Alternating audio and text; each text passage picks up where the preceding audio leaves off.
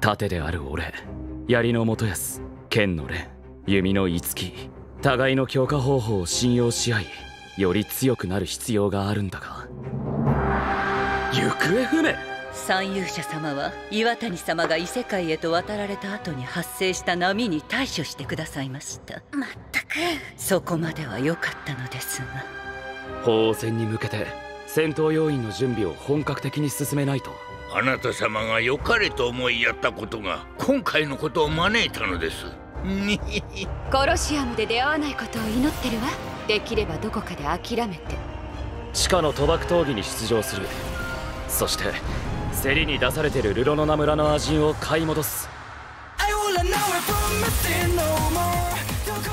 直文様どうか兄を大事にしてください。お前は一生を使ってこの薬の代金を稼ぎ続ける覚悟はあるか？アトラの分だけじゃない。